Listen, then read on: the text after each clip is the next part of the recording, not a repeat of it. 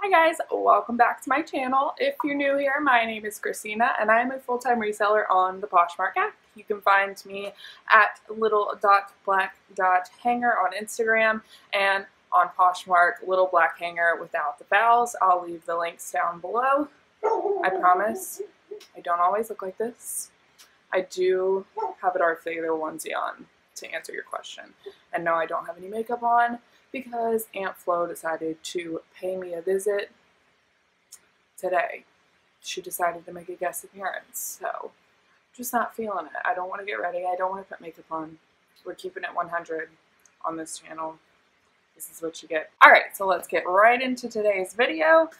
I'm going to be talking about 10 things that are essential for your reselling kit essential. These things are essential for me. Some of them you can exclude. You may not think that it's essential, but to me, it's essential.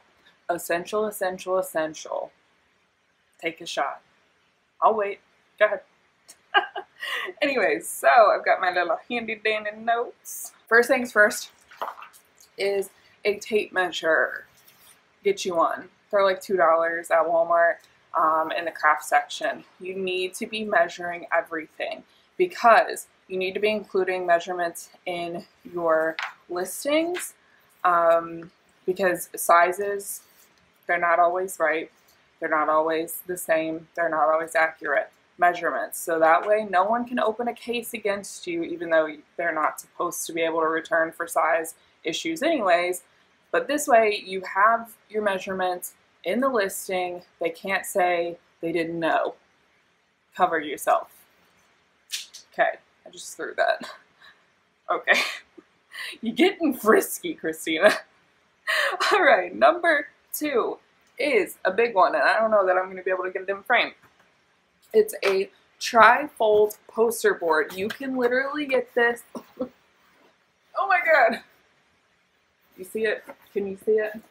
Yes, you get the point trifold poster board. You can literally get those at Dollar Tree for $1. They come in handy for photographing shoes, for photographing purses, earrings, belts, accessories, the small things that you can't hang on a wall, you can't put on a mannequin, blah, blah, blah. Get you one. You won't regret it. All right, number three is a lighting kit. Now mine is behind the camera and I'm filming filming on my iPhone, so I can't show you, but I will insert a picture here of the one that I have. I got it from Amazon. It's great.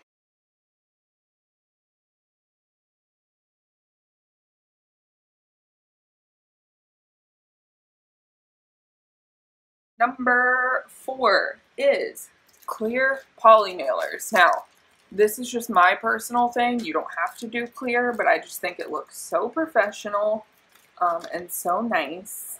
I just stick a little sticker on it and it just looks like it came from like a website, like a factory or something. I just think it looks so nice.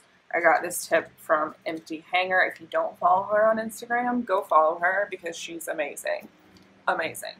Anyways, um, you just fold up whatever you have really nicely, put it in here, suck all the air out, push it, suck all the air out, and it just slips right into a um, bubble poly mailer uh, priority.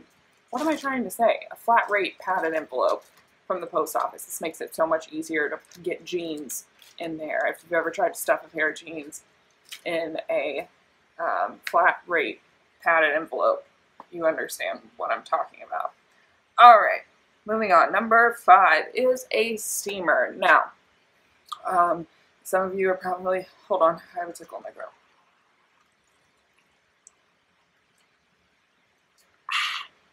I know some of you are going to ask, I got this copper mug at Dollar Tree.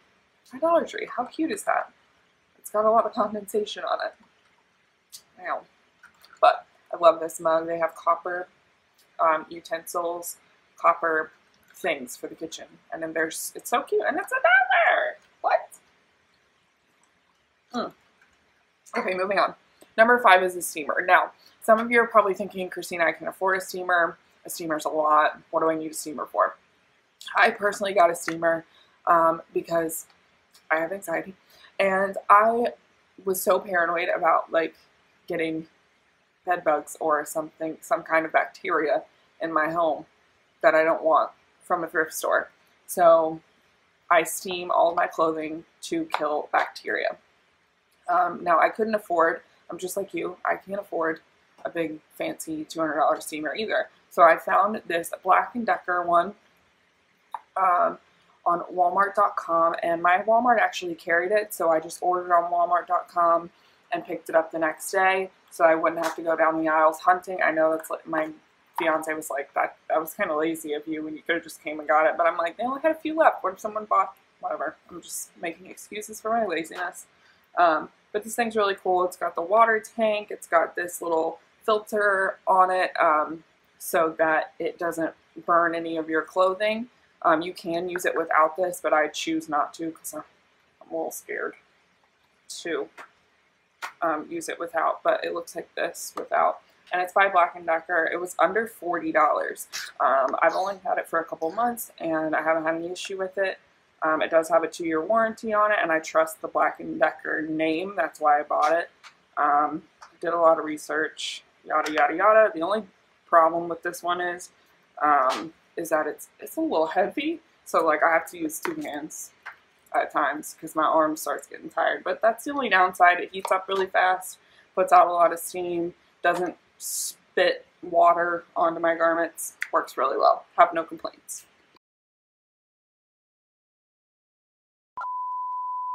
Number six is Dawn dish soap. Now, I use Dawn dish soap and dilute it with water to get out um, stains. It works really well on like makeup stains, like if someone's tried on a shirt and it's gotten like makeup on the collar, it takes that out really well. I haven't come across a stain that Dawn dish soap will not get out um, unless it's on like whites and it's really stubborn. I use like a bleach solution. Um, I know a lot of people use like some fancy um, stain removers. I don't do that. Um, if I come across a stain, that needs one, I'll get one. But for the time being, Dawn dish soap works pretty well. Improvise. Use some baking soda. Use some peroxide. You know, try and get that stain out. Don't be scared of stains, um, but have a stain remover handy so that you can use it if you need it. Number seven is rubbing alcohol and or hairspray um, to get those stubborn, sharpie prices off of the bottom of shoes you got from the thrift store my thrift store doesn't use um, sticker price tags for their shoes. They just write the price on the bottom of it with Sharpie. Um, rubbing alcohol works really well if the sole is like leather or painted. Hairspray, I wouldn't use it on a painted sole because it will take the paint off as well. But on rubber soles, hairspray works so well. I can't even express. And you probably already have it at your house if you's a lady. So use it use it, use it. Number eight is this um, sweater shaver or any sweater shaver. This is just my personal favorite. Got it at Walmart with these at the same time as the steamer. My order was under $40, so $40 for a steamer and a sweater shaver. This will change your freaking life. If you've ever had like a garment that you wanted to get, um, but it had like pilling on it or like a sweater had pilling on it, this takes it off so quickly takes two AA batteries. You just run it over with no pressure, little to no pressure, um, and it just shaves it right off. I'll insert a video here.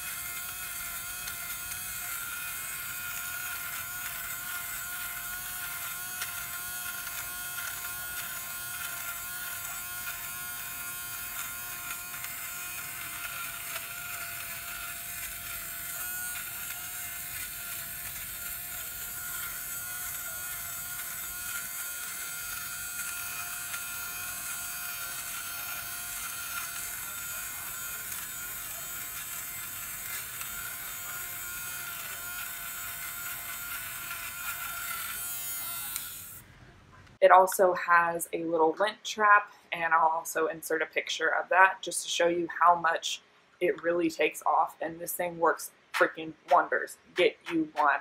The brand is Evercare. Um, like I said, it's sold at Walmart.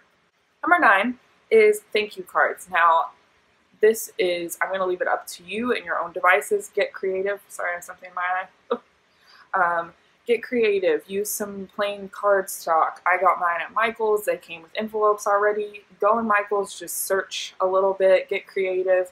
Um, the, I got the little stickers from Dollar Tree. They just have different little sayings on them. This one says, be happy. This one says, hey. This one is like, yes. Okay, so you get the point. I just stick a little sticker on there and it's plain on the back and I just write my handwritten thank you note. I stick it in an envelope, put the customer's name on it with a little smiley face. Just gives it a little personal touch um, that customers really appreciate. And a lot of my thank you or love notes on Poshmark, my customers have mentioned that they loved the cute little note, that they thought it was a great touch. So I think this is totally, totally essential for anyone's kit hands down. And number 10 is these little stickers that I get from Vistaprint. They say little black hanger on them and they have the little Poshmark um, symbol on them. I'm hoping you can see these. Um, anyways, I just add these, like I said, I put one, I'll show you right now. Um, when I put the garment in here, I just stick